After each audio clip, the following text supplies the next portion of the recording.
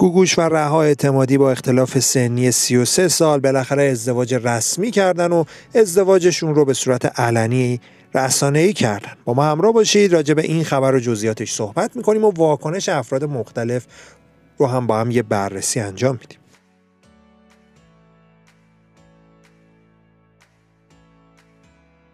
سلام سلام چطوری رفقا؟ به کانال خودتون کانال میم تیوی. خیلی خیلی خوش اومدید. امیدوارم حال احوالتون خوب باشه و اوضاع به کام باشه. خب بیش از 13 14 ساله که شایعه ازدواج گوگوش و رها اعتمادی بارها توی بازه های زمانی مختلف توی رسانه های مختلف مطرح میشه. هر بار هم رسانه ها فکت هایی رو در مورد ازدواج این دو نفر علنی می‌کنن. ولی خب هیچ وقت نه گوگوش و نه رها اعتمادی راجع به این ماجرا صحبت رسمی انجام ندادن.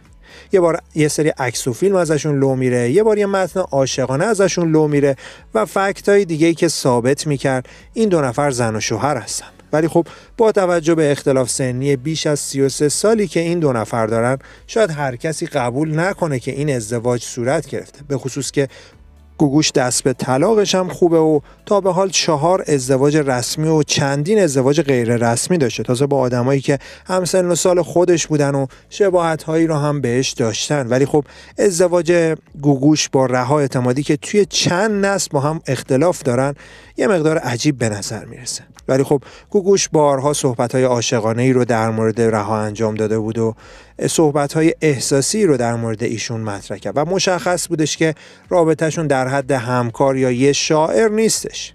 چند وقت قبل هم محمود قربانی شوهر اول گوگوش صحبتهایی رو در مورد ازدواج رها و گوگوش رسانه ای کرده بود. ولی خب با توجه به صحبت های تندی که انجام داده و خیلی ها می‌گفتن از روی حسادت بوده یا به خاطر اینکه از رها و گوگوش بعدش میاد این صحبت ها رو مطرح کرده. چند وقت پیش ولی شهرام شبپره از دوستان قدیمی گوگوش و خواننده قدیمی هم این قضیه رو تایید کرد تا اینکه بالاخره پدر رها اعتمادی که خودش حتی از گوگوش کوچیکتر هم هست این قضیه رو تایید کرد و گفتش که چند سالی هستش رها پسرم و گوگوش با هم ازدواج کردن. و ازدواجشون هم به صورت رسمی و قانونی و شرعی بوده. که خب با توجه به اینکه گوگوش خودش احتمالا به صورت مستقیم نمی‌خواسته این خبر رو توی پیج رسانه مرتبط به خودش بذاره از پدر رها خواسته که این خبر رو رسانه ای بکنه. این خبر در حالی رسانه ای شدش که گوگوش در حال برگزاری تور خداحافظیش توی کشورها و شهرهای مختلف هستش. و خب چون تور کنسرت خدافزیش هست جمعیت زیادی هم برای دیدن کنسرتاش به سالن‌های شهرهای مختلف میان.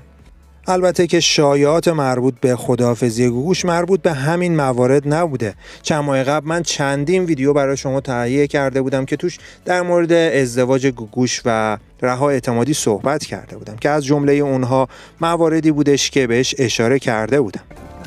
گوگوش متولد سال 29 هست و رها اعتمادی متولد سال 63 و عملا 34 سال اختلاف سنی دارن و قضیه از شوگر و اینجور حرفا حتی گذشته. گوگوش به عنوان خواننده و رها اعتمادی به عنوان ترانه سرا توی آثار زیادی با هم همکاری داشتن و ارتباط نزدیک و تنگ و تنگی هم با هم دارن. ولی خب خبر ازدواج و رابطه این دو نفر بارها توی رسانه ها مطرح شده بودن. حتی خیلی عنوان کرده بودن که گوگوش و رها اعتمادی با هم ازدواج رسمی نکردن ولی به صورت ازدواج سفید دارن با هم دیگه توی یه خونه سالها زندگی می‌کنن. اما اوج این ماجرا حدودا یک ماه پیش بودش که گوگوش توی یه پست کاملا احساسی و عاشقانه تولد رها اعتمادی رو تبریک گفت. سال گذشتم توی مصاحبه ای که گوگوش با هما سرشار داشتش از رها اعتمادی به نیکی یاد کرد و احساسش رو نسبت به اون مثبت ارزیابی کرد. ولی خب باز هم چیزی رو به صورت رسمی تایید یا تکسیب نکردش.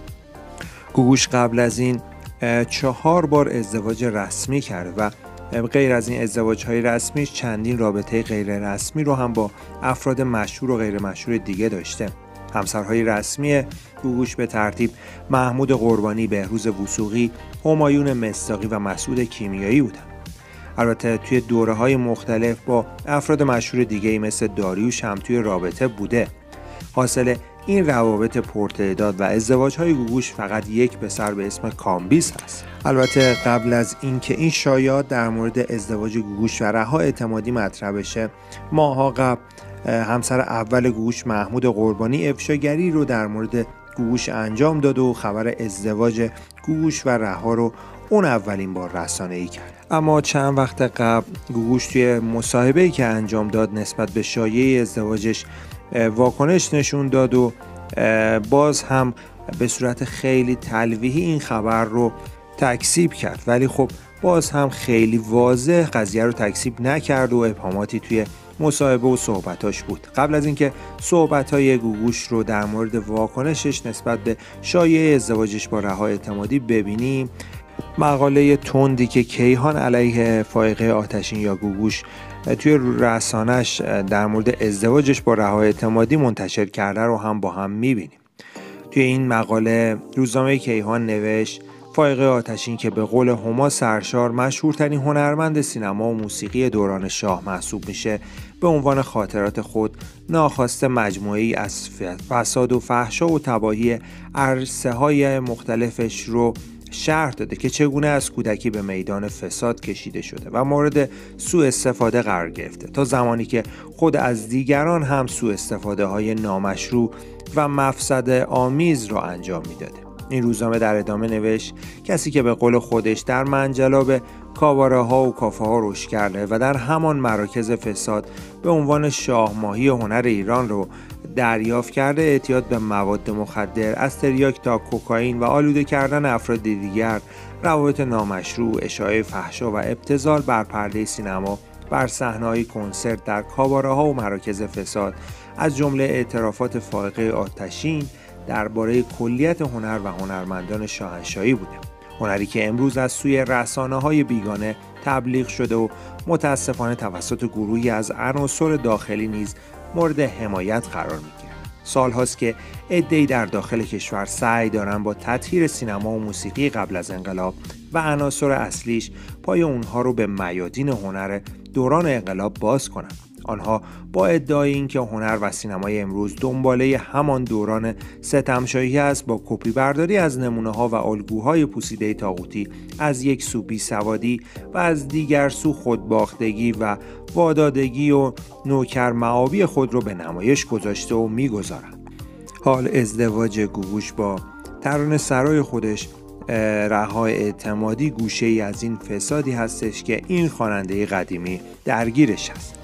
رها اعتمادی در دوازده آبان سال 63 در تهران زاده شد. اون بعد از 6 ماه زندگی در ایران به کشور سوئد به همراه خانوادهش مهاجرت کرد و تا 19 سالگی رو ساکن سوئد اون برای ادامه تحصیلات دانشگاهی به آمریکا رفت و چهار سال توی اونجا اقامت داشت. بعد از اون به لندن مهاجرت کرد. در دوران کودکی در رشته تنیس خیلی علاقه داشت و توی این رشته فعالیت می‌کرد. در سن 16 سالگی برای نخستین بار از سوی فدراسیون ورزشی برای مسابقات تنیس راهی ایران شد.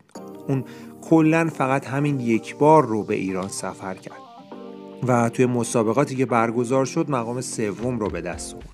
اون مربیگری تنیس رو در لندن دنبال کرد. اون فارغ التحصیل رشته روانشناسی و جامعه شناسی از دانشگاه لس آنجلس آمریکا هستش و بعد از پایان تحصیلاتش به لندن رفت و تا همین اواخر هم اونجا زندگی می‌کرد رها از مجریان و تهیه کننده های شبکه مناتو بودش. ترن سرایی رو از سن 14 سالگی آغاز کرد و از کودکی در محافل شاعرانه و ادبی شرکت می‌کرد.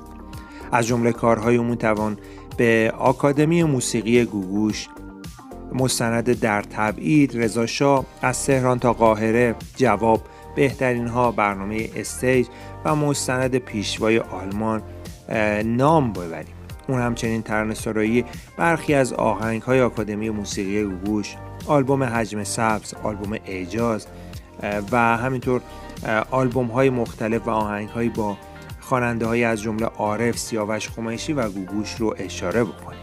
رها از اولین مجریان و همکاران شبکه مناتو بود. ولی خب در سال 2017 بعد از 7 سال همکاری با شبکه مناتو خبر جداییش از این شبکه رو اعلام کرد. اون در حال حاضر در کنار گوگوش در شهر لس آنجلس آمریکا اقامت داره و خودش رو به عنوان مدیر برنامه های گوگوش و دوست و ترانه سرای اون معرفی کرد. البته خب دوستان نظرتون راجع به این ازدواج جنجالی چیه؟ به نظرتون این دو نفر زوج خوبی می‌تونن برای همدیگه باشن؟